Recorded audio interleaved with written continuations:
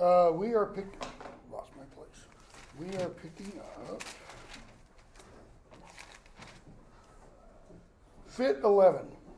We just finished, I believe, on Thursday, um, talking about that passage.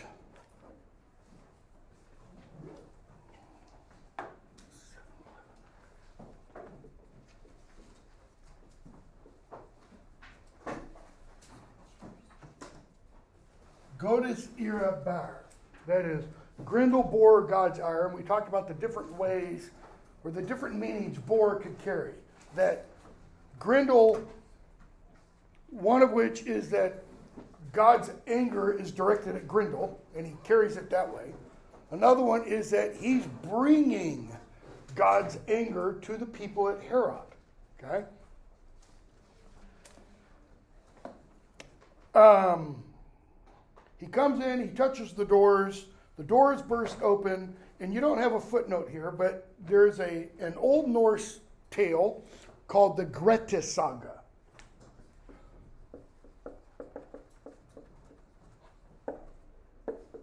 And the hero in that is a guy named Grettir, G R E T T R, and the monster name is Glommer. And the only reason I'm mentioning this is because it is an analog to this passage in Beowulf.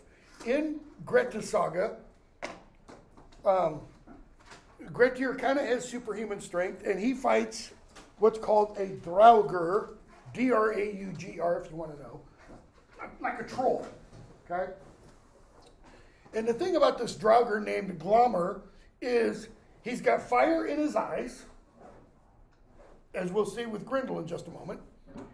And when he comes to the building that Grettir is staying in, he touches the door and the door just bursts open. It's not like he opens it, pushes it, he merely touches it. And, okay? Very, very similar to this, so that, you know, most editions will include, or many editions, will include a footnote to mention this parallel or analog, right?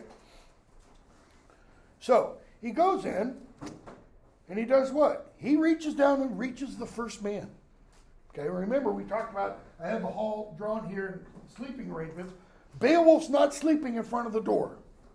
And we were told in that passage, previous column, line 69, 690 and following, Beowulf's men think what when they bed down for the night? That none of us are going to make it home. We're all going to be dinner for Grendel. Okay? He looks down and he, we're told, laughs inside. you know, because he's looking at not 30, but 15 men that he's going to feast on. All right? So he reaches down and he takes the first one, gobbles him up. 740 in, fa- in passing. He finds a sleeping man, slit him open suddenly. We find out later how, because we get a description of his nails, fingernails. They're like nails, long steel, you know. Slits him open, bit into his joints, drank the blood from his veins, gobbled his flesh in gobbets, that is, big bites, and soon had completely devoured that dead man, feet and fingertips, that is, everything from feet to fingers. Shouldn't do that. Um, and he does, so one down, that's like, you know, the first piece of the first, you know, nacho, he's going to reach for the second nacho. And this nacho reaches up and grabs him. He quickly grabbed him with evil intent and sat up against his arm, line 748, 749. And you got a gloss there. It is not entirely clear who grabs whom. Apparently, Grendel reaches out to Beowulf, who's lying down. The hero then grabs Grendel's arm and sits up. I don't know what that means. Sits up against it? I, I mean, I literally, I have no idea what's that describing. How do you? So Beowulf grabs his arm and sits up so his back's against it, so he's cuddled up next to Grendel's belly and hold. I don't understand that language at all. Okay? As soon as that, and there's that word we talked about the other day, that Hirda, shepherd of sins. Hrothgar is called a shepherd of the people. Beowulf is going to be called a shepherd. Now Grendel is called a shepherd of sins. Like, come here, boy, come here, little sin, like a shepherd does with sheep. Interesting phrase. As soon as Beowulf holds his hand, grasps his hand, Grendel realizes what? 753, in his heart he was afraid for his life, but none the sooner could he flee. He realizes, not like one of the regular, ordinary Danes, he wants to escape. And what do they do? We spend the next several lines with Beowulf and Grendel holding one, and this is kind of like a classic wrestling, you know, hand tied behind the back, and they're holding like this, and they're throwing each other up against the hall wall. But they never let go. Or more accurately, Beowulf never lets go. Grendel wants to let go of Beowulf and flee. Beowulf doesn't let him. And this goes on long enough for Beowulf's men to wake up. Probably the first banging against the wall wakes them up. And they pull out their swords and start whacking on Grendel. To what effect? Why? Because we're told 802 and following, 801 and following, no sword, not the best iron anywhere in the world, could even touch that evil sinner, for he had worked a curse on weapons, every sort of blade. A curse on weapons, every sort of blade. What does that mean? What does Grendel have the ability to perform? Magic. It's the only place, by the way, in the poem where that is mentioned, where that's discussed. It's the only instance of magic. Okay? And we're told 805, his separation from the world in those days of this life would be a wretched work. That alien spirit would travel far into the keeping of fiends. That's the poet telling us that. What's going to happen to Grendel's spirit? It's going to go into the keeping of fiends, meaning hell. Okay? He was marked by God, top of the next page so that his body could bear it no longer, but the courageous kinsmen of Hygelac held him, etc. Okay? So the loathsome creature felt a great pain in his body. What great pain? Does Beowulf cause him to? Just a moment ago when I did this and reached up, 2010, I think I've told you, slipped on some ice, tore my rotator cuff. Rot- got four muscles with tendons. I tore completely Every one of them. So, you know, just like that. Pain, like you, can more pain than when I was on fire when I was a kid. Horrendous pain. But my arm was still attached. Grendel's arm is gone. How many of you seen Monty Python and the Holy Grail? Black Knight, right? Psst, psst, psst. So Grendel's, that's how they follow him. Okay? Thank you for those of you who have watched it, because often I'll do that and I get total blanks. You know, just like, really? You're not culturally aware if you've never seen Monty Python and the Holy Grail.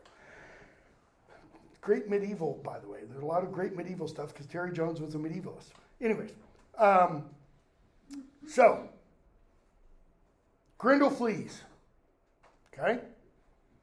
What does Beowulf do with the hand? Or his men, we're not sure exactly which one. Or arm, I should say. They take it and they hang it from the ceiling. Right? It's big. Fit 13. By the way, I'm going to try to get us up to, well, I'm going to try to get you further, but up to at least line 1500. Because we got to finish Beowulf. Remember, we don't have class a week from Thursday because I'm having surgery on other parts of this arm. So, in the morning, warriors come to the hall. Why? What are they probably expecting? Death and destruction. I mean, if Beowulf's men think they're going to die, you could be pretty sure the, Geats, uh, the Danes also think they're all dead. So they go, they see the hand, and then what do they do? They follow the track of gore. And the track of Gore leads them to a body of water, a lake, a pool, a mere. It's called various things. Some people even think it's an ocean or part of an ocean, like maybe a harbor or port of some kind. Okay? And we're told 851 they go to the water and the water is welling with blood. So think of a pool, not a swimming pool, but a pond of water, and in the middle, like a natural spring, where you might see the little rise of water, this is blood. Okay? And the poet tells us when deprived of joys, he laid down his life in his lair in the fen, his heathen soul, and hell took him. Okay? Pretty judgmental, right? Hell took him. Then the old retainers, these, these are Hrothgar's men, turn around, so they've followed the track, and they're reasonably sure, 99%, uh, Grendel's dead. They turn around, they ride back home. And some of them race on their horses for a while. And they celebrate 856 and following Beowulf's glory. What does it mean they celebrated? They talk about it, they sing about it, they chant about it. Okay? It was often said, that is, this is what they say, that south or north, between the two seas, across the wide world, there was none better under the broad billowing sky among shield warriors, nor worthy, nor more worthy to rule. So there wasn't a better shield warrior, nor was there someone more worthy of what's it mean to rule? What's a word that we can use to describe that? Kingship?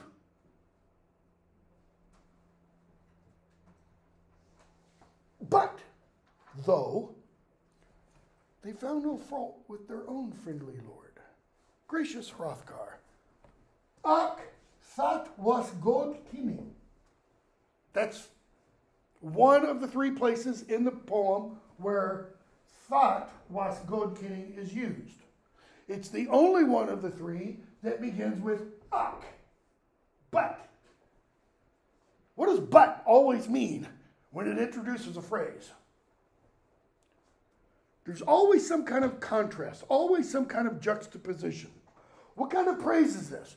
They praise Beowulf as the greatest shield warrior between the two seas. That's Germanic mythology. That's here in Middle Earth, the world we inhabit. No greater warrior at all, nor anyone more worthy to rule at all. And then they think of Hrothgar. Well, yeah, but he was a good king. What, what does it need just to really make the sentiment complete? Two. He was a good king, too. The but, it undercuts Hrothgar a bit. All right?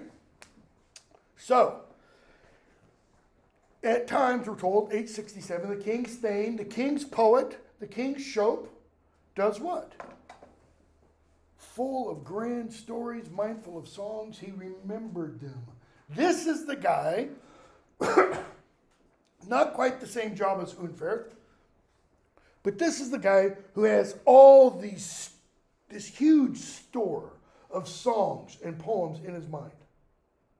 Not completely memorized, where he sings a song and then three days later he sings the song exact same words. No. What's being described here is oral formulaic composition. This, this theory, first promulgated in the 1930s, I believe it was, based upon analysis of Homeric hymns, of Yugoslavian poems, Old English poetry, etc. This theory is essentially that ancient pre literate poets, because what does literate mean? Writing, written, okay? Pre literate poets composed poetry on the fly. They didn't merely memorize entire things, okay? They kept pieces. And what they would do, what a poet would do, is start to sing a poem, like, for example, what we're told here about Beowulf.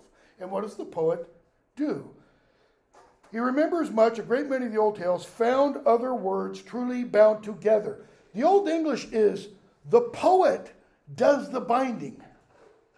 The poet takes words in his lexicon and links them together. Why? For what purpose and how? Lily? I, I don't know, but I was gonna ask, um, so when you say a poet, are you saying like there's a poet with them and he's doing this, or the Yes. actual author? Nope, it's the poet within the world of the poem. It's Hrothgar's court poet. Okay? What he does is links words together for what purposes. If you watched that video when the second day of class when I wasn't able to be here, and I talked about the alliterative tradition, you know, Old English line of poetry has four stresses. You've got two stressed syllables in the first half line, two stressed syllables in the second half line. The first stressed syllable in the second half line determines the alliteration. Don't think alliteration like modern literary, you know, alliteration. Okay. Um, what the poet does is he finds words that fit the alliterative pattern, which is why sometimes you'll see, you know, a statement and then it gets rephrased. Why? Because the poet has got to come up with another word that has that same initial sound. All vowels alliterate with all vowels. Okay? Things like that. We could mm, probably can't talk about that too much more. That's what the poet does. And what does he do? He creates a song about Beowulf, we're told. He adeptly, 873, tells an apt tale and weaves his words. And what are his words about? Well, we're told he told nearly all that he had heard said of Siegmund's stirring deeds. In this tale that he tells his audience, men on horseback, about Beowulf, he links Beowulf with, where is he? Siegmund. No, we don't know Siegmund from Frank. Siegmund is a famous Germanic dragon slayer. He's also called Sigurd, and he's also called in later um, Wagner Siegfried. Okay? One of the three great dragon tales in Western European literature deals with Siegmund, another one deals with Beowulf, and the third one, Old Norse Fafnir. Fafnir. I don't think Siegmund's the one who kills Fafnir.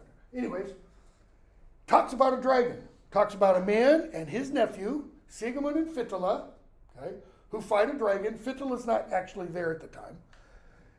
And he tells us in this tale, line 891, okay? So Siegmund has his dragon, let, us go 890. Yet it so befell him that his sword pierced the wondrous serpent, stood fixed in the wall. We're not told where this occurs. But we are told when Siegmund kills the dragon, his sword sticks in the wall. Okay? I think this is significant.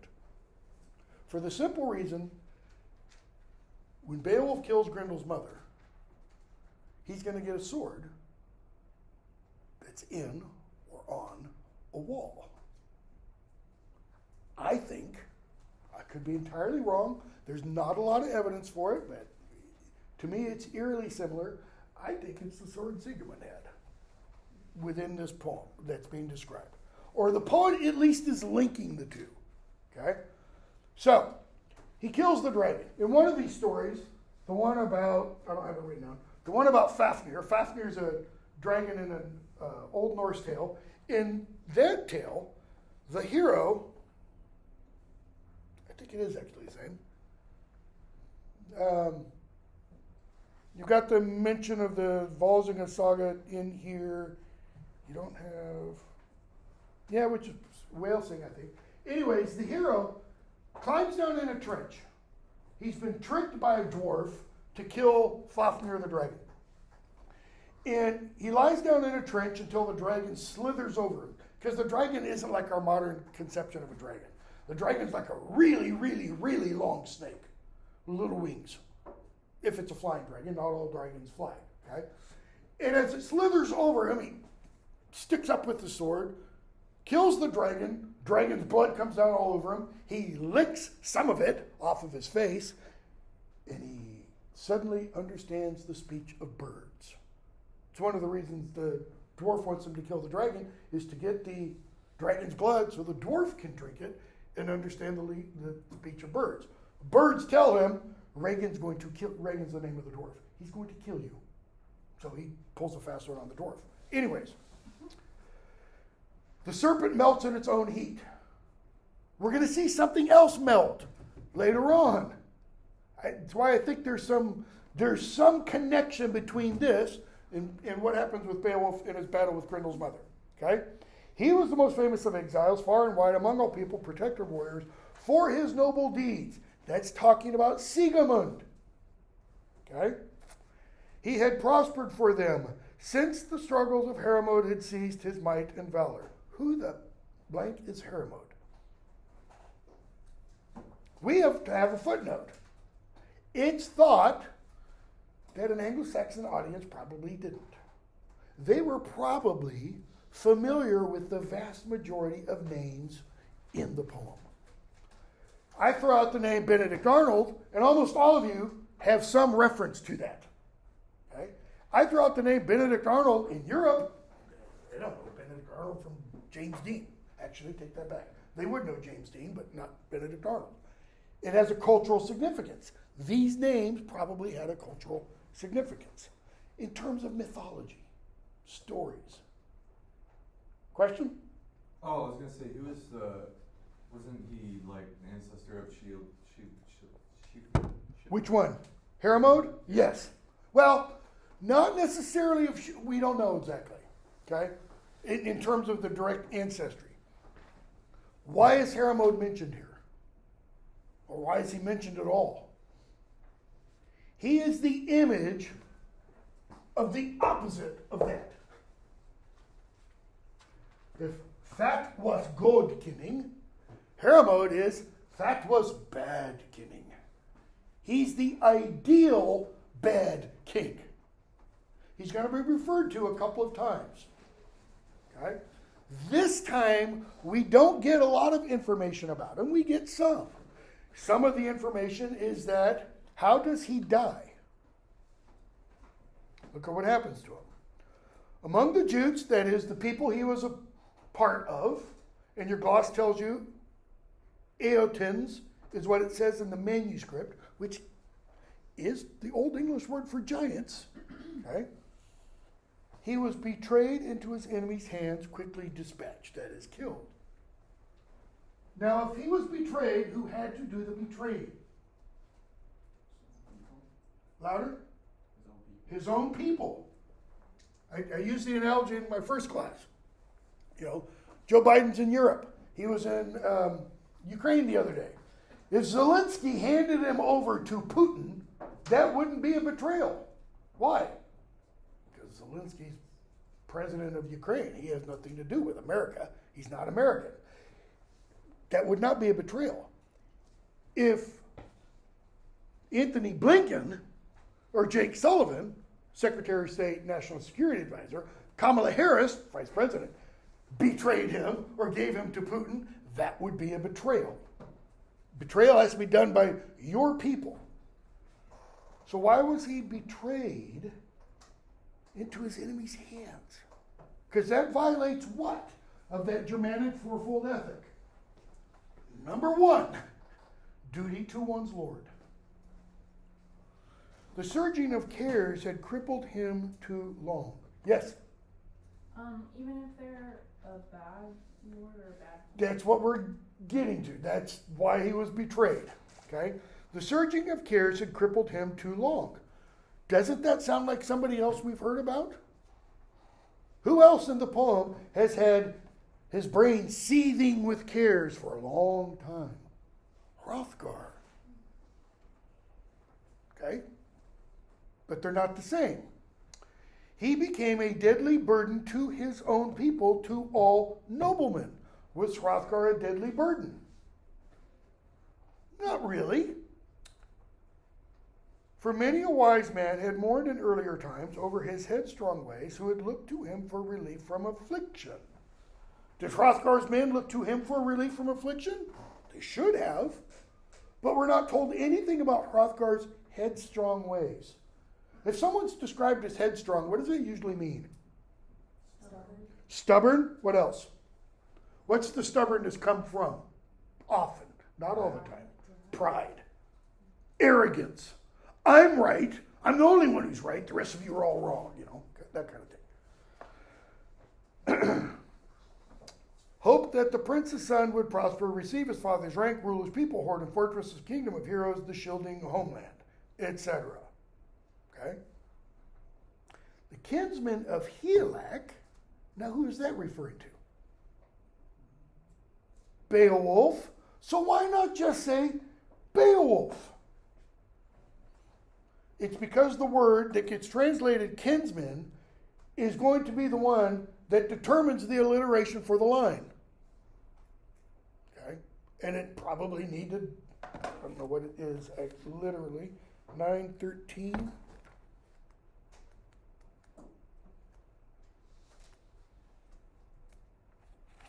Nine thirteen. Yeah, my Helak is Manakin. My man of Hygelac, man of his race, essentially, or the um, was able of Hygelac, his people's man, kinsman of Hygelac. Uh, lost my place. Became to all the race of mankind a more pleasant friend. Who's that referring to? Beowulf. So the poet, within kind of the poem, okay, talks about Siegmund mentions Beowulf in connection with Siegmund, a little bit of foreshadowing, by the way, because Beowulf's going to kill a dragon just like Siegmund does. And by the way, by comparing him to Siegmund, he's comparing him to the exemplar of Germanic heroes, the greatest Germanic hero who ever was. All right? And then the poet mentions Hermod, not the poet within the world of the poem, the poet relating the entire poem compares Beowulf to Hermod. How so? Hermod is the antitype. He is the opposite of Beowulf. Kinsman of Hygelac became to all the race of mankind, notice, a more pleasant friend. That's because Hermod was not a pleasant friend at all.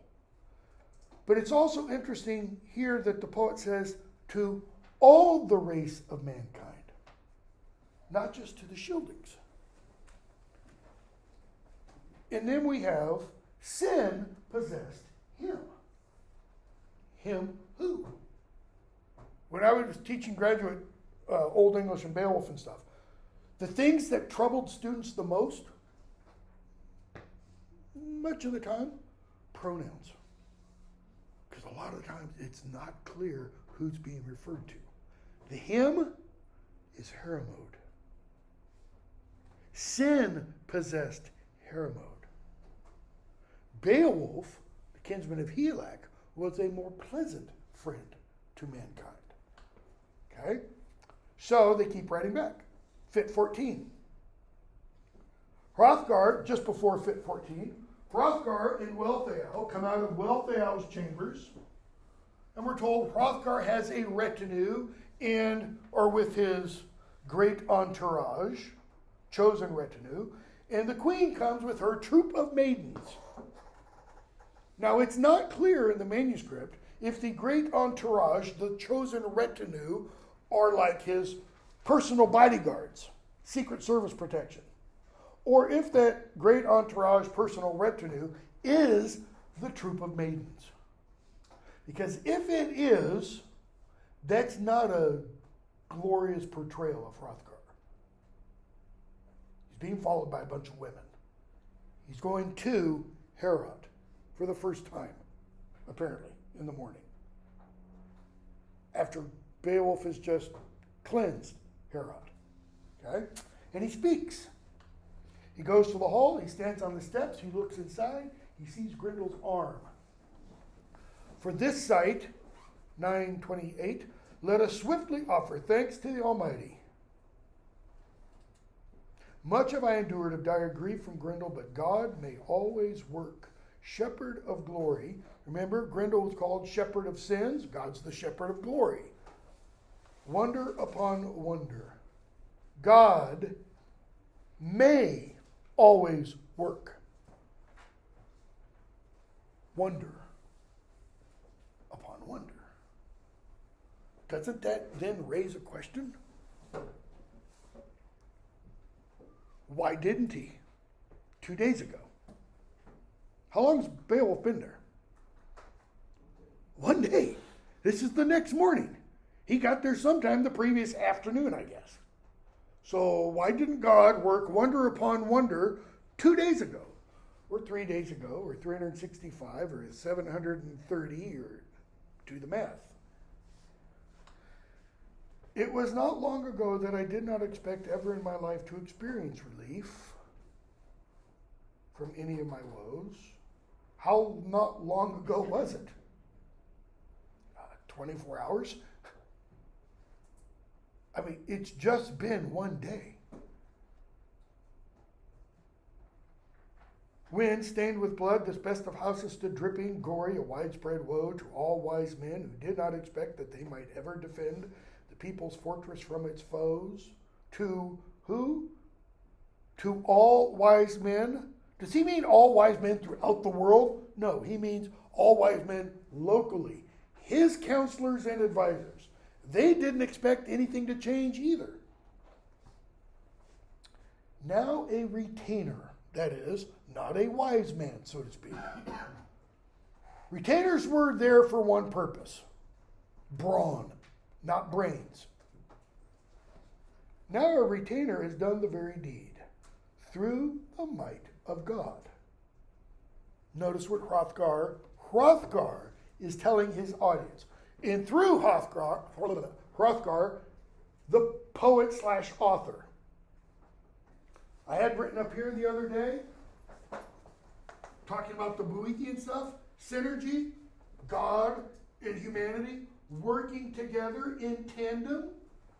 Notice he says, the retainer has done the very deed through the might of God. What if Beowulf had never decided to come? Could God have done the pro- done the deed himself? Theoretically, yes, he could have, but it, you know it would be literally a Deus ex machina, God from the machine. It would be supernatural divine intervention. Okay, he's not saying that's what happened. He's saying it was Beowulf, and Beowulf did it how? Because he has the strength of 30 men in each hand grip. Where did Beowulf get that strength? Go back to Hrothgar's first speech about Beowulf. I knew him being a boy, he goes on. We've heard stories about him from the seafarers. And what else does he say? Almighty God has given him the strength of 30 men in each hand. Okay? Yes? So is his intention here, like, to kind of diminish Beowulf's glory? Because all the men are looking at him um, above Hrothgar at this point? Oh, I'd never even considered it that way.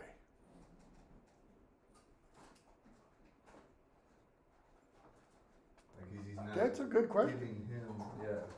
I mean, he is still singling out Beowulf Right. because God chose him to work through. God didn't choose Hrothgar. He didn't choose Unferth. And God can always do whatever it is he wants to do.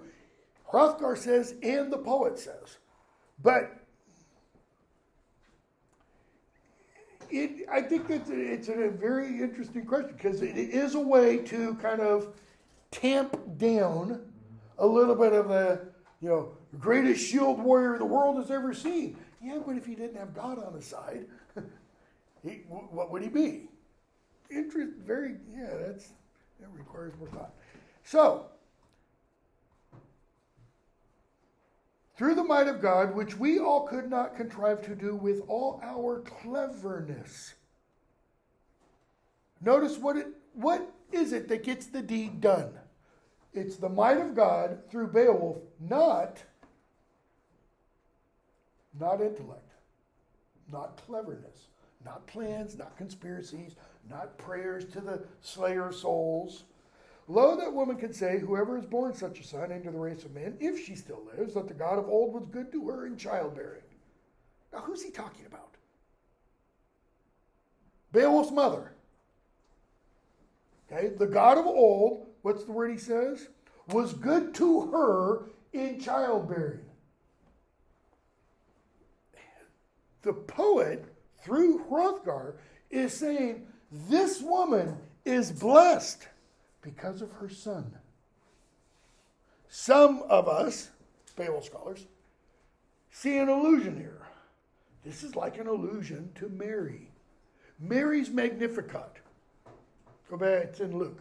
Um, go back and read the words of Mary when she goes and visits her cousin Elizabeth. Elizabeth is pregnant with John the Baptist. Mary is just newly pregnant, three months, with Jesus. Okay?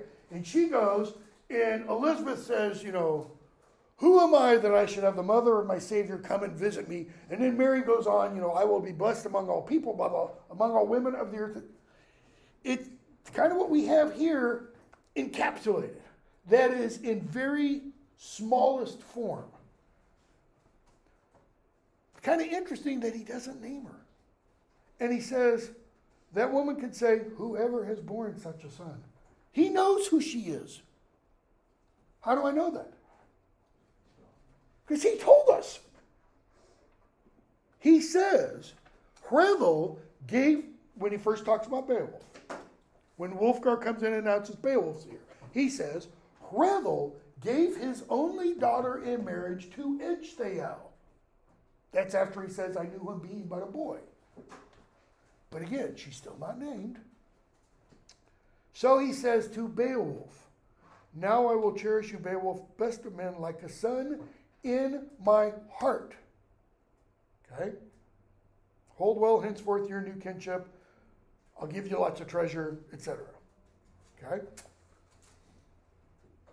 When Hrothgar speaks this, who hears? The reason I'm asking is because we were told, line 920 and following, the king himself goes from the woman's chambers, his royal queen with him. He gets to the hall, he's standing on the steps, kind of implies, where's Wealhtheow? Beside him, maybe one step behind. She should be nearby when all of this is said. And so, what does he say to Beowulf? I will cherish you like a son in my heart. Okay? Hold well henceforth this new kinship. Does that mean he's adopted Beowulf? Yes, question. Um, do they think that Grendel is dead? Yes. Because they have the arm and, and they follow the gore to the lake, and the lake is welling up with blood. That's why I said, you know, they're mostly sure, 99% sure. And the, we're going to find out he is dead. Because Beowulf's going to visit his body in a few hours. Excuse me. The next day, Beowulf's going to go jump in the mere. um, and he's going to find Grendel's body, and it's swollen. Why would his body be swollen?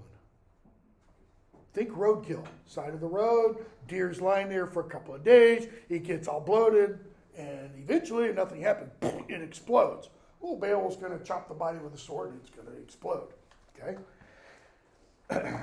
I used to love teaching this right after dinner, you know, because I'd get all kinds of facial expressions on students' faces. So, does Beowulf adopt, excuse me, does Hrothgar adopt Beowulf? He says, In my heart, you'll be like a son. He's got two sons, which we're going to talk about, hopefully, in a few minutes. Okay? Beowulf then speaks. I really wanted to have Grendel's body here. I didn't want to let him go. But he says, 967, the Creator did not wish it.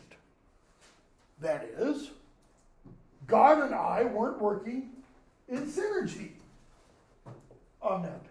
I had one wish and desire. to keep Grendel here. Why? So that everybody would know he's dead. People can live without an arm. I mean, not blood splurting out for very long, but they can live for, you know. He wanted there to be the proof, but God didn't wish that. All right?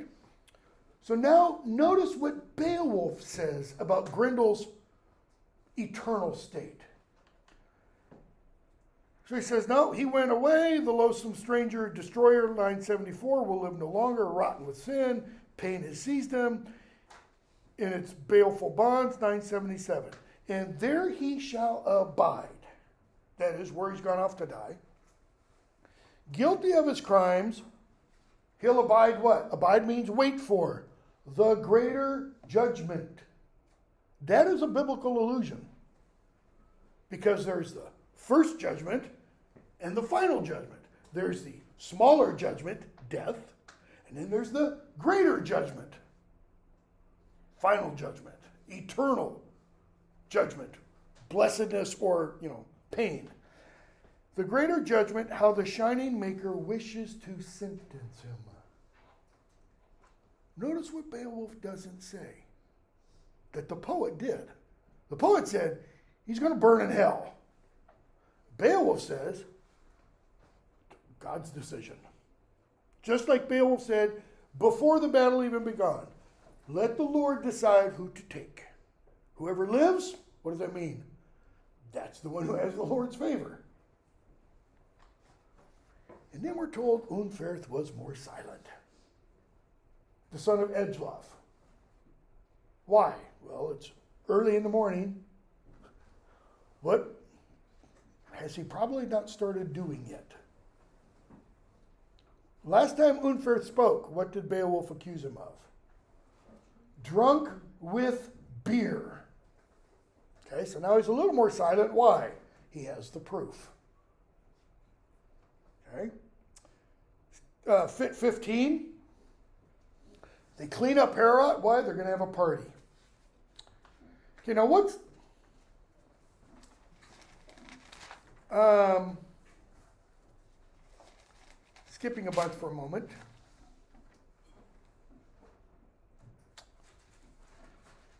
Fit 19. No, take that back. Fit 20. After Grendel's mother comes, I'm jumping ahead for just a moment. Hrothgar says, line 1345. Again, after Grendel's mother comes, and after she kills Hrothgar's most trusted advisor, friend, counselor. I've heard countrymen and hall counselors among my people report this that they've seen two such creatures. They're getting, go back to the where we were, they're getting ready to party. They're going to have a good party. What does Beowulf not know at this point? Two monsters, not just one. Okay? So, uh, let's see here. I'm going to skip that part. Around 10, 14. So everybody takes their places in the hall, and we're told, Fairly those kinsmen took many a full mead cup, stout hearted in the high hall, Hrothgar and Hrothulf. It's the first time we've been introduced to Hrothulf. Okay? Hrothulf is Hrothgar's nephew. And you got a footnote down there.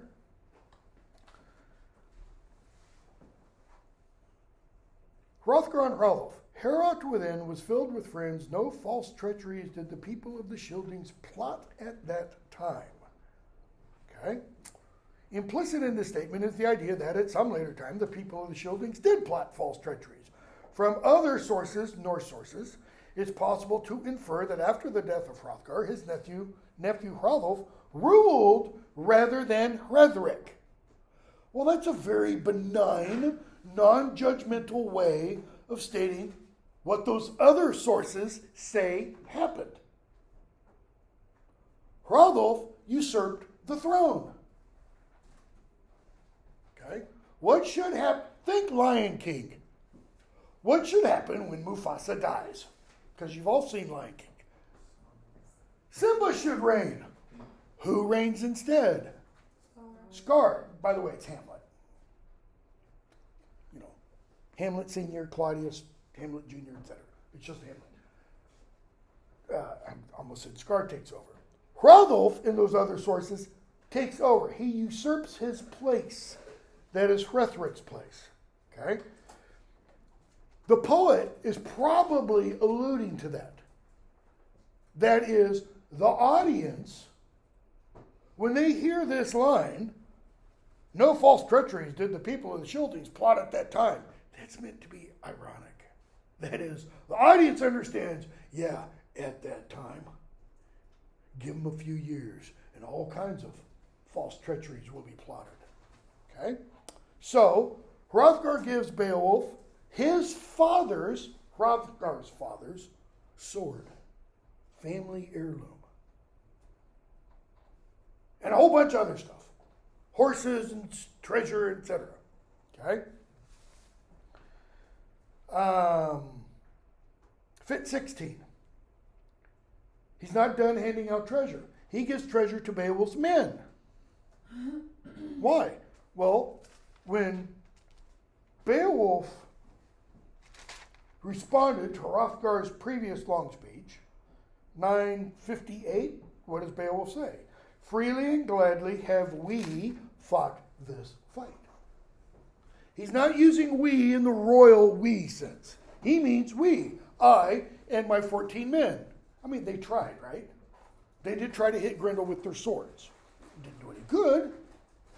What's Beowulf doing? He's spreading the glory. He's saying, it wasn't just me, all my men. So Hrothgar gives them treasure too. And then he does one other thing. He pays Wergild for the guy who died. Why? Was it his fault? Hondscio died? I mean, think of that scene again. Grendel comes, they know Grendel's coming, and Beowulf watches to see how Grendel operates. Rewind the film for a few minutes and put yourself in Hondscio, the guy who dies, in his shoes. What are you thinking if you know what's going to happen? What gives? Why me? Why not Fred? Why? Beowulf, why don't you take the first position? In one sense, if anybody should pay Wergild, it should be Beowulf. But Hrothgar does. Probably because, I think at least, this has something to do with an old Indo European practice. Indo European, that group of people out of which all the various, you know, national groups that speak Indo European languages came. And that's this idea of hospitality. Okay? You see it in Greek literature, Germanic literature, Roman literature, Hindu, Indian literature, Slavic literatures, etc. And that is that if someone comes to your door, it's the middle of a raging snowstorm, a rainstorm, or whatever, and that person bangs on your door, is your mortal enemy.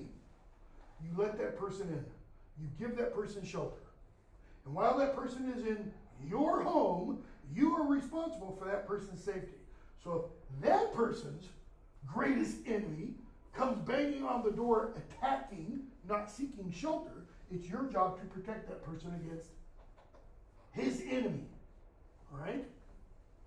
So Hondscio has come, in one sense, with Beowulf and his men, seeking shelter. They're under Hrothgar's proverbial protection while there. Even though Beowulf lets him die, which is a re- I think at least a problem with Beowulf's character. You raise that issue in certain circles, and they don't like it because Beowulf's the man, you know. so he pays Wergild to uh, family. And the poet then says, the poet, not Hrothgar or anybody else, but our poet relating the story, 1055, 1054.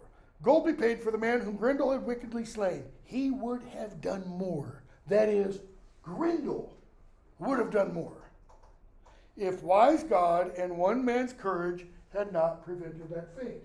There we are again. Notice, wise God, it's God's wisdom and one man's courage. So God's wisdom and Beowulf's, what does the courage produce? Or what, how does he demonstrate his courage? Strength. Okay? There's that fortitudo at fortitudo et sapientia thing I had written on the board the other day. Had not prevented that fate. I'm trying to remember, is that word 1057? Is that weird?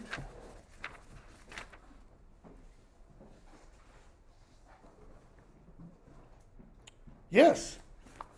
Word that gets translated fate there is weird. If it had not prevented that which will be, will be. So, in other words, weird isn't, like the Wanderer says, firmly established. It can be changed. How? God's wisdom and a little human ingenuity and skill or strength. Okay? The Maker ruled all of the race of mankind as he still does. Go back to line 700 for a moment. You don't have to turn to it, but it is a well known truth that mighty God has ruled mankind always and forever. Okay? Ruled, has ruled mankind always and forever. Has, present tense, ruled, past. It started in the past, it continues now, and we'll go on into the future. But notice the different tense in, in 1060 or 1058. The Maker ruled all of the race of mankind. Ruled. Simple past tense. As he still does. Why does the poet, the scop, singing the entire poem, let's say, for the first time, include as he still does. Why not just leave it in the past tense? Because we're talking about in geardagum. What does as he still does do? Or what purpose does it serve?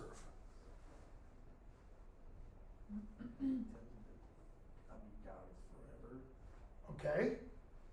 For the modern audience reading it. Keep going or listening to it because they probably wouldn't be reading it initially, or possibly wouldn't be reading it. It might be speaking to the time of the current audience. God, as he yet does, yet does what? Still rules mankind. Why might the poet, sheer speculation, why might the poet see the need to say that now? Is it's the same God. Same God at work? Possibly. What else? When do you need to hear that kind of statement? Do you need to hear that when you're just riding the top of the wave and life is wonderful and everything is beautiful and everything's coming up roses? No, it's when the wave crashes and you hit the bottom. Why? Because down here, God's still in control. Just like up here, God's in control. The poet, I would argue, is kind of preparing us for something. Something that's going to come in not too long. We're at 1058, around line 1780, I think it is, 1770. We're going to be at the beginning of what's called Hrothgar's homily or Hrothgar's sermon. And Hrothgar is going to talk about God and being at the top of what in a later tradition will be called Fortune's wheel and being at the bottom of Fortune's wheel. And how fortune, fortune's a wheel that God spins. God's in control of it all. Notice, therefore, understanding is always best. The poet doesn't just stop. God has ruled the fate of men, or God, God is what? How does he put it? The Maker ruled all of the race of mankind as he still does. The poet doesn't just stop there. like he did in that previous passage, line 700 and following. The poet now does something else, kind of applies it. The poet sounds more kind of like what at this point? Stepping up into the pulpit. This is, this is pure didacticism. This is pure teaching. Okay? Therefore, what does therefore mean? But, Louder? but, Can mean but. Because of this Summation. summation. Yeah, because of this is perfect. Thus. Thus is like 1 plus 1, thus 2. 1 plus 1, therefore 2. Okay? Therefore, understanding is always best. Spiritual foresight. Spiritual foresight is an appositive phrase for understanding. The poet is giving it more meaning. Understanding is spiritual foresight. Does foresight mean prophecy? No. It means seeing things clearly.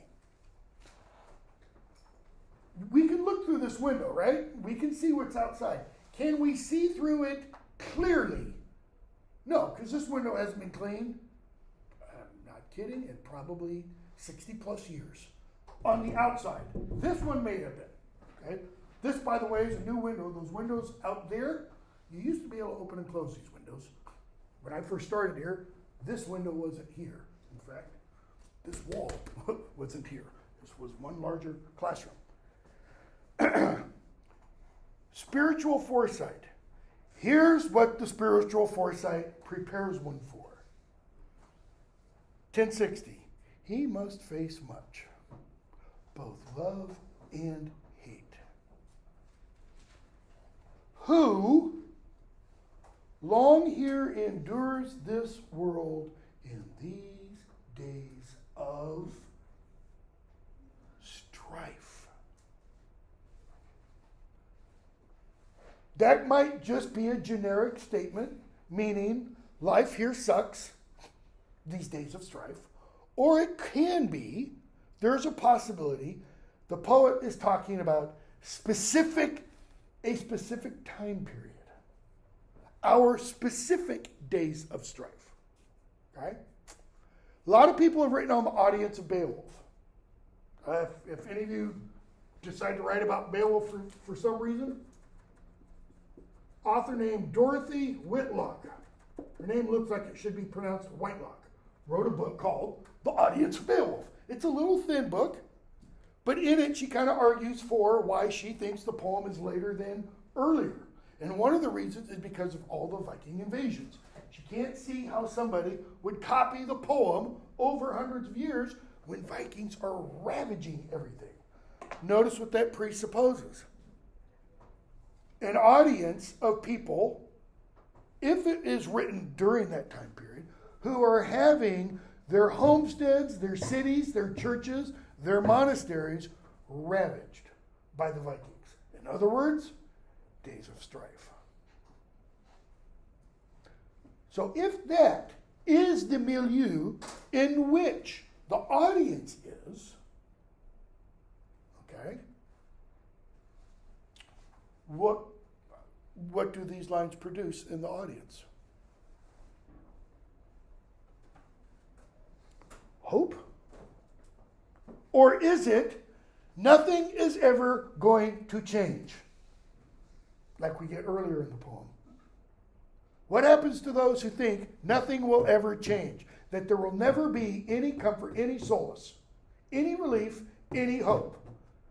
They're the ones who thrust their souls into the fire's embrace. Hell here and now, right? If all life is, is strife, is pain, that pretty much is what's being talked about. That's hell. The poet is suggesting no matter what happens, imagine you're you live in Turkey or Syria. Now,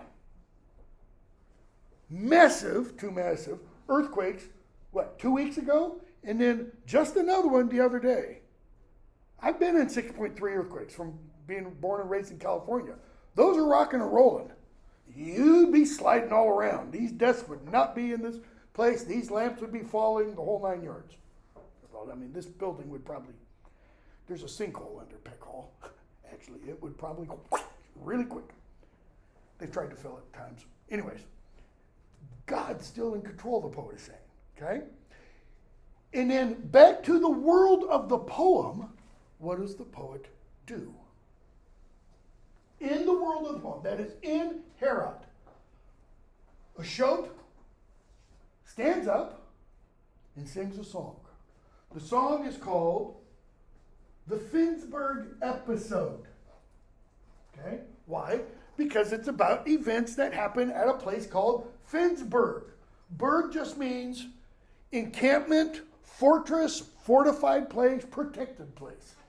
You can think of a castle if you want, but that's anachronistic. Castles date from 1000, 1050 AD later. Okay? So what happens in the Finnsburg episode? By the way, there was also, do I have it written down somewhere?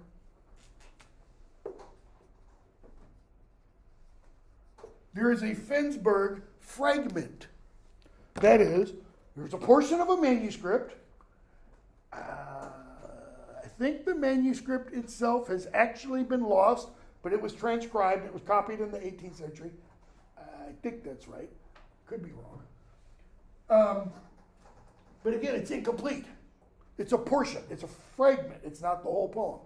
It's thought based upon that fragment, which contains some of the same stuff that's in this episode, okay, that the ultimate poem that it's fragment, fragment of and that this is an episode of was probably at least 600 lines and possibly much longer.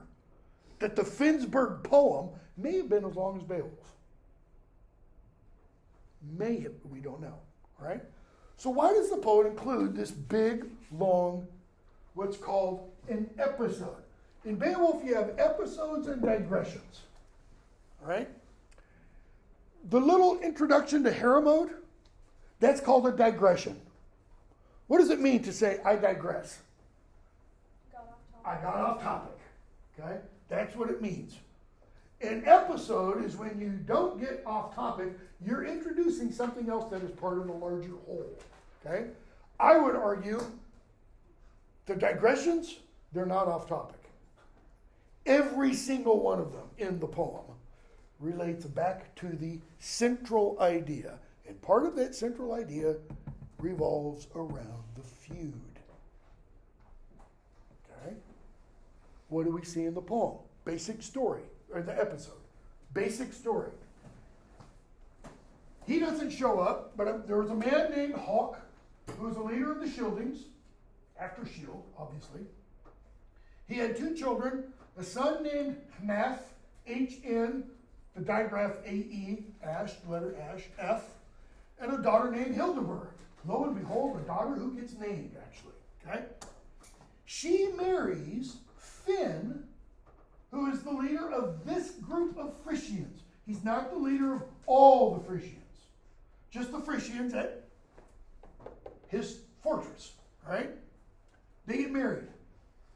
They get married for one reason, apparently to bring peace between the Shieldings and the Frisians. So she's described as a peace weaver. She is given in marriage to bring peace between these two warring peoples. It doesn't only happen in literature, it happened throughout history. That's why princes and princesses of different national groups would marry is to bring at least the lack of open warfare among them. Okay? So, she gets married. She brings her own little group of retainers, that is, personal bodyguard, to live with her at Finnsburg, where Finn rules. Her brother, Hnaef, and they have a son, he's not named. Hildeburh and Finn have a son. Her brother, Hnaef, and his warriors come to visit. And maybe they outstay their welcome. We don't know.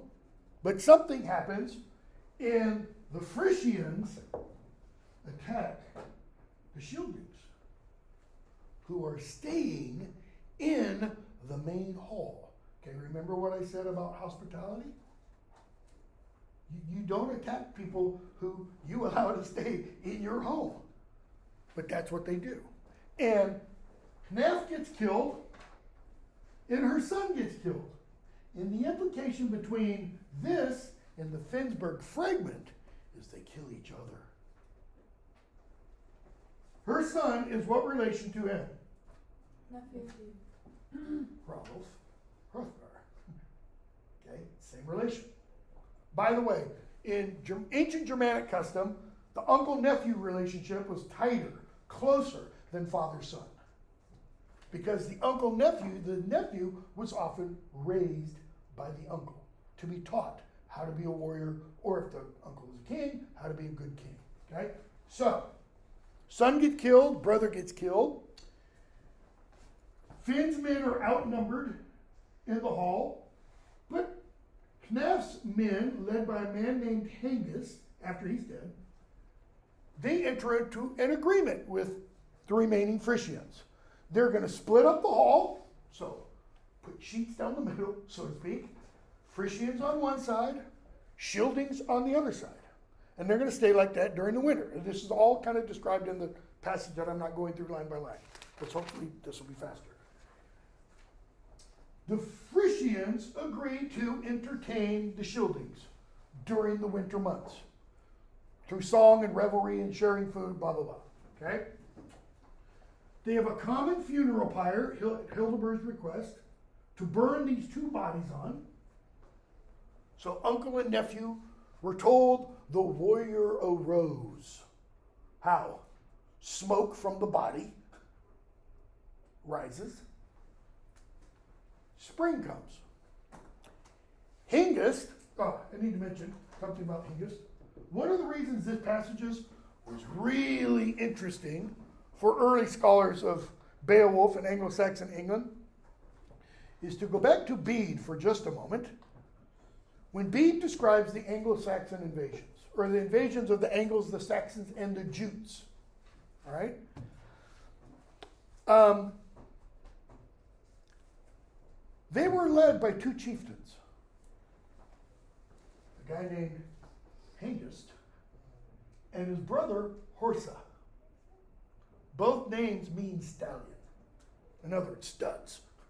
All right? And the reason this was of great interest is because we have a name in Bede, and we have this name in Beowulf and in the Finnsburg fragment. And the question arose same person? Because Hygelac, we know, actual historical figure. According to Bede, there was at least one guy named Stallion, Hengist. Might this be the same one? Belongs to the correct tribes, or one of the tribes, because the Frisians, another name that's included here is the Jutes. Okay? Yeah. So, leave that aside. Spring comes. Hengist is thinking it's time to go home. Why didn't they go home before? Rivers were frozen. Couldn't get their boats out. And what does he think just before it's time to leave? Wait, wait, wait, wait. Did I forget? Yes, I did. I'm going to have to come. Nope, that's later. Anglo Saxon, uh, Germanic, fourfold ethic duty to one's Lord, duty to one's kin, duty to avenge one's Lord and kin. They entered a temporary peace. He still is bound to avenge his Lord and kin, meaning F. So Hengist's men attack because they outnumber the Frisian, the Frisians. and they attack to the extent that they kill them all. In this place, again, it's not all the Frisians, it's the Frisians at Finnsburg. They kill them all. Okay? They go back to the land of the Shieldings, and who do they take with them? Hildeburh. Describe Hildeburh's life. I've seen facial expressions, but not descriptions. It's pretty rough, right? Days of strife. what was said just before this passage? God ruled all the race of men as he still does. Oh, by the way, let me tell you a story. Good story? Our modern mindset says, man, what a downer. What should they be saying? Beowulf, you just killed Grendel. Now what are you going to do? I'm going to Disney World, right? No, I'm going to hear a story about death and destruction and how a feud kills everyone, essentially, at least of this one group. So Hildeburh's happy. Her son's dead. Her brother's dead. The implication is her father's already dead. Man, talk about days of strife. Her life's not very good. And then the poem ends, and we're told 1160, 1159 and 60. The lay was sung, the entertainer's song, glad sounds rose again.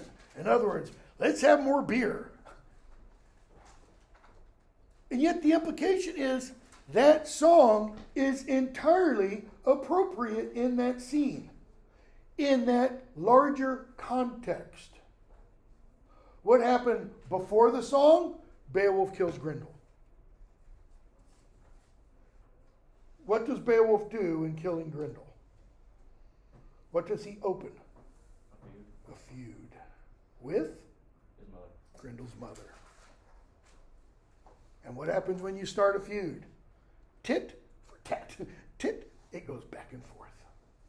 Okay? Is, Lloyd? it- is this poet that's singing this song supposed to be like an all-knowing being? No, not an all knowing being, but someone who just has the tribal history all up in his head. Not, you mean, wait, which poet? You mean the poet within the world of the poem? Yeah, no, not an all knowing being, just, you know, So he just happens to sing a song about a feud, and then later, Or another way of putting it is the poet telling us the story is arranging events, describing, plotting out everything, and, and puts this here for a reason. And I think the reason has to do with both the macro understanding of the poem and the micro, that is, with this particular scene, because what's going to happen very, very quickly, this same evening, Grendel's mother's going to come. Why? Beowulf started a feud. She's following, she literally, she follows Anglo Saxon law perfectly. Okay? Because what does she do? She kills one person. Beowulf killed Grendel, one person. She kills one in return. In fact, a guy wrote a, a um, dissertation on Anglo-Saxon law, kind of in Beowulf, in, in the poem Beowulf, and he talks about you know the various killings that we see, the big ones. You know, Grendel starting his thing, Beowulf killing Grendel, Grendel's mother, and Beowulf how Beowulf kills her, kills her, etc. And part of his argument is, you know, she's justified with her actions. And the poet takes us more inside her thoughts than the poet takes us in Grendel's thoughts. And in one sense, more than the poet takes us in at least some of Beowulf's thoughts. And she is, she's following the dictates of the law. You killed my son, I'm going to kill you. Or I'm going to kill one of your men. Where is Beowulf the night that she comes? He's not sleeping in Heorot. He's sleeping in another building because in Heorot, he has to sleep on the floor. He's on a bed this time. Question, comment? um, so when I studied this before, they kind of like made Grendel out to be like this like stupid monster that didn't really have any idea like what he was really doing, and then they made his mother like I don't know. She was kind of like this like I don't want to say divine, but she just seemed like a she there she was like kind of put on a pedestal. Do you think that's because Grendel actually is like just going around killing people, doesn't really know what he's doing, or do you think it's just because we get more of her thoughts than his? Um, in, in, in terms of what you were taught before, that's probably what's going on. And she seems to have more rational reasons for what she does. Um, I mean, we're going to get descriptions of her. Just one second. We're going to get descriptions of her. It's going to be interesting when Beowulf goes into her home, and I'm using that term intentionally. She has something hanging on a wall. She has a fire in the home. What does that kind of suggest? I mean, I kind of give it away by using the word home. It's not a cave. It's not just a cave. Why does she have something hanging on the wall? Why do you put anything on a wall? What does that suggest? Not this or this. It's a decoration. It's an ornament. Is, tells us what? This is not just some low-level monkey kind of being, an ogre, so to speak. She is an ogre. So would it be correct, like, to kind of say that the Finnsburg episode was like the poet's way of trying to foreshadow what was going to happen with Beowulf? Could be. Um, it- it's another re-emphasizing of feud. And feud again is woven all through. Notice who comes out of this, so to speak, on top. Who comes out smelling like roses? Who comes out everything's going great for him? Nobody, not even Hengist. He loses his Lord in this. I think one of the things the poet is doing throughout the entire poem is the poet is calling into question the entire Germanic heroic ethos. This whole idea, duty to one's Lord, one's king, duty to avenge, it ends up with what? Death. Everywhere. How does the wanderer end up? Alone, exiled, burying his Lord. The hall gone. Okay? The poet's kind of going to allude to the same kinds of things in here. Okay? So, that all ends. Wealhtheow comes forward. She brings a crown to where the good two sat. Who good two? Nephew and uncle. We've just heard about a nephew and uncle who killed each other. And now we have this nephew and uncle, where we are told their peace was still whole. Notice two adverbs of time still, then. What does that mean? Ain't gonna last. Each true to the other. And you have a footnote. And the footnote says, or alludes to, you know, um, actually, that's going to come up. Came up earlier with stuff about Hrolf, but the same thing applies. Uncle, nephew, uncle, nephew. Their peace was still holding. And what we get is like a, um, oh, what's the word? A tableau, an image. So you have Hrothgar, Hrothulf, Unferth sitting at their feet. And we're told their peace was, they still had their peace then. And then the poet, notice, specifically mentions Unferth. Why? What does Unferth have to do with anything else here? Louder? Kinslain.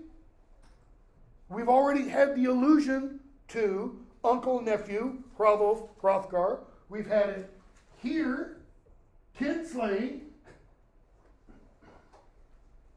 There's no other reason to emphasize that Hroth- that Unferth is sitting at their feet, like spreading a poison, kinslaying, sin, if you want, in the Germanic sense, just oozing out like an oil spill. Everyone trusted his spirit, that he had great courage. This is the poet of our poet telling us, not within the world of the poem, but the poet is telling us what everyone in the world of the poem thinks about Unferth. That he had great courage, though to his kinsmen he had not been merciful in swordplay. So the poet puts Unferth there and then reminds us Kinslayer. But everybody in the world of the poem, except for Beowulf, I think it's pretty fair to say, assumes what? Oh, He's a courageous hero. How courageous was he against Grendel? Not so much. I'm going to sleep over here in the Motel 6. So even after Beowulf, they had that little riff. What was it called? The um, where Beowulf like The flyting Yeah. episode? um. Yeah, everybody so- still trusts them. So everybody. Oh, well, that's And that's one of the conundrums, which is the way it's explained by the vast majority of scholars, is that it's read or heard by the people in the world of the poem as Beowulf isn't serious. This is just a your mama game. That's, that's all. That's all a lot of scholars think of it. Oh yeah, well you're a mama, and what do you do? You one up the person who insults your mama. Is it meant seriously? Your mama sleeps with pigs. No, it's not. I don't mean that seriously. That you're. No. It's a verbal contest. That's all it is, and there's no seriousness to it. Even though the poet has twice now reaffirmed what Beowulf said. That, to me, you can't say, oh, well, that's just part of the verbal contest. When the poet says it, because when the poet says it, the people in the world of the poem, they don't hear that. That's meant for our ears, not theirs. They hear what Beowulf said. And Hrothgar's like, hey, way to go, for Keep in mind, he's old. He might not be that sharp. Okay? So she comes in and she addresses Hrothgar about what? I mean, specifically. I've heard told that you want to adopt this one as an heir. Talking about Beowulf. Well, where was she when Hrothgar said, You are like a son to me in my heart? Remember this kinship. She should have, according to the description, she was in the area, or did Hrothgar go up and whisper in Beowulf's ear? We're not told that. Okay? And she goes on and says, Leave the folk in the kingdom to your sons. Hrethric, and if he dies, Hrothmund. Hrethric's the oldest son. I know my own dear gracious, dear gracious Hrothulf will hold and honors these youths.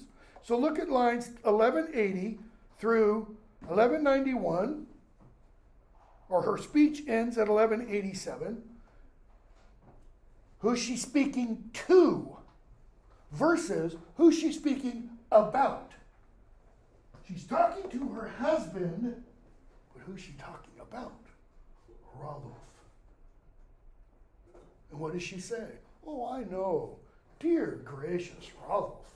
He'll remember our sons in honor or treat our sons honorably when he remembers all the kindnesses we did since we raised him as a boy.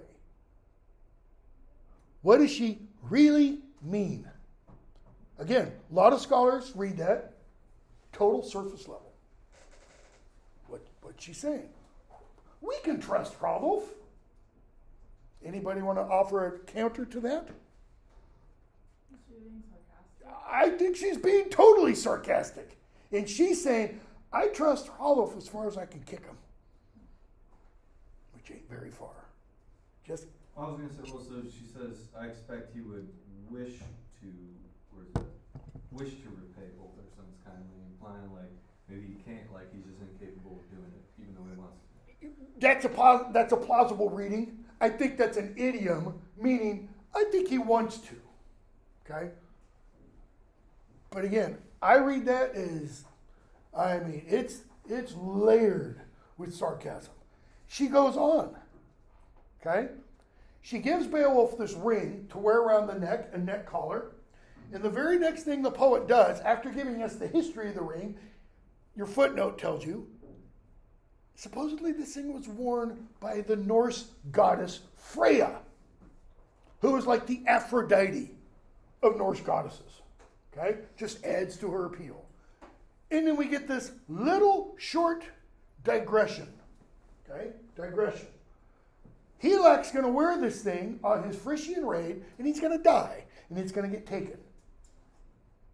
It's the first of three references to Hygelac's Frisian raid. And notice why the poet says he did it. 1206. When in his pride he went looking for woe, a feud with the Frisians. He went looking. It means they hadn't been in a feud before. He starts a feud. Where do you think that feud ends? It doesn't end with his death. It doesn't end until the future after the end of the poem. It's alluded to, it's prophesied. There is going to be all hell to pay when Beowulf dies for the Geats. Okay?